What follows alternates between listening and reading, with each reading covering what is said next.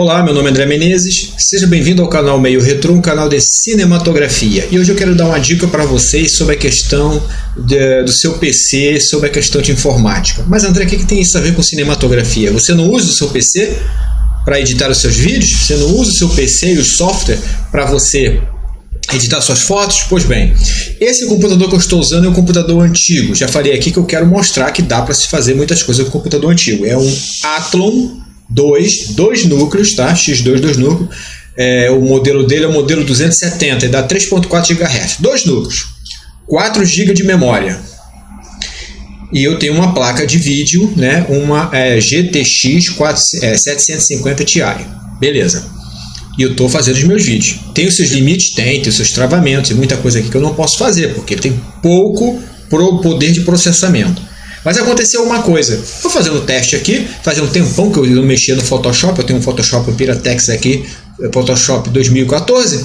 Aí instalei ele aqui para me lembrar como é que era que fazia os negócios. Que eu instalei o GIMP também, que eu estou falando sobre o GIMP, fazendo comparações. Para minha surpresa, quando eu abri o programa o Photoshop, ele abriu, quando fui abrir um, um, um, um filtro, apareceu a seguinte mensagem: Não é possível abrir porque o seu computador né, tem pouca memória. Eu falei: Caramba, Olha, eu mexo com o computador desde 2002. Nunca tinha visto uma mensagem como essa. Falta de memória? Eu falei, caramba, aí eu desinstalei o programa, instalei o GIMP, instalei outros que funcionaram. É, a minha a lógica seria funcionar um pouco lento, mas funcionar. Aí eu pensei, falei, poxa vida, vou ter que gastar dinheiro com memória. Eu falei, não vou comprar, não vou comprar. Acabei rapando o cofrinho daqui, só estou com 50 reais. Aí fui lá, comprei dois pentes de memória de 4 GB cada um para dar 8. Meu PC, e isso é muito importante quando você for comprar memória, saber qual é o limite máximo do seu PC. O meu é antiga essa placa daqui, é de 2010, se eu não me engano, é mais é para trás ainda. Então, ela, essa placa daqui só suporta 8 GB, 4 por slot, não mais. Eu ia comprar um pente só de 4 e colocar ali, né? Aí eu falei, eu fui ver, não, não suporta. Então você tem que saber antes de comprar memória para o seu computador. Fiz esse esforço para poder instalar o programa né, e abrir as coisas. Quando eu botei, eu percebi que muitos outros programas, de fato, tá, começaram a abrir um pouco mais rápido, que tem memória mais sobrando, eu posso abrir mais programas. Talvez até na, nas gravações aqui com área de trabalho, com eu aparecendo no cantinho, talvez agora não trave. Então nós vemos que nesse primeiro vídeo já começo dando essa informação, tá? É, memória mínima, 4 GB mínima. Algumas coisas pode travar, como aconteceu comigo. Pode. Vai ficar devagar, mas vai funcionar. Fiz até agora, estou fazendo um vídeo para caramba nesse computador. Memória legal, 8 GB. Memória top, né? Vamos dizer assim, é, top 1, 16 GB, top 2 é daí para cima.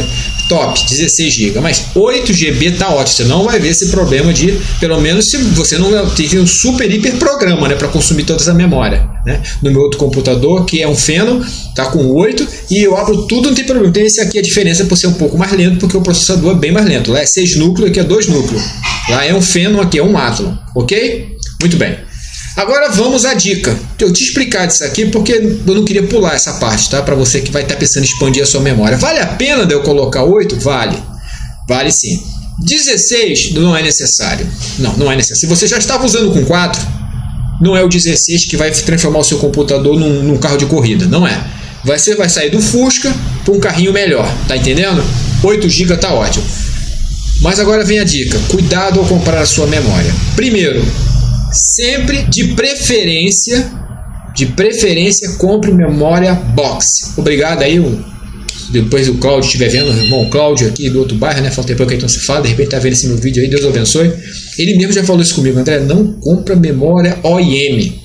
Por quê? Ela é ruim? Não. É a mesma memória, só que vem tudo solto. Os caras botam a mão, testa aí num computador, testa e enfia lá de volta para vender vende como memória bala, zero, e às vezes já estava testando o computador, fica tirando, botando, pode causar um dano, ok?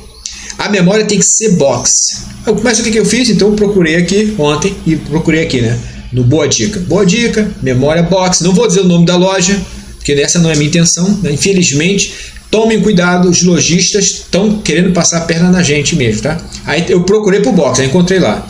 Pente de 4 GB da Kingston, é, velocidade 1666, é, 4 GB, 115 reais. Eu falei, opa, 2, 230, vou lá. E é box. Cheguei lá, o cara foi, papapá, pagou, veio ele com a memória dentro de um saquinho plástico. Eu falei, opa, opa, pera aí. Aqui no anúncio tá falando box. Eu peguei o anúncio que eu imprimi e mostrei pra ele aqui, ó. Box.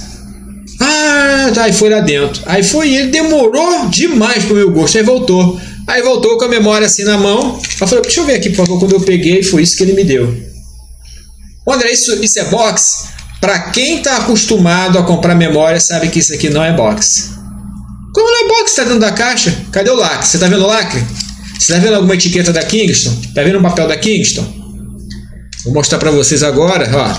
Essa aqui é a memória do meu HyperX. Olha aqui, ó. Aqui, ó. Kingston, lacrado, ó.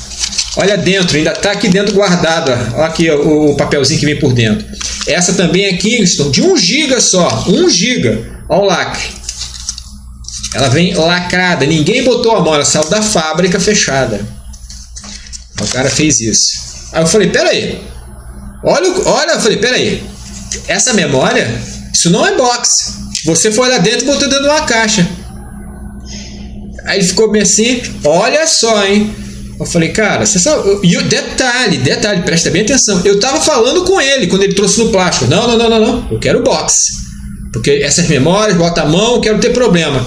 Ele teve a ousadia de ir lá dentro, tirar do saquinho, enfiar nesse aqui e querer. Ou outras palavras, tu é trouxa mesmo?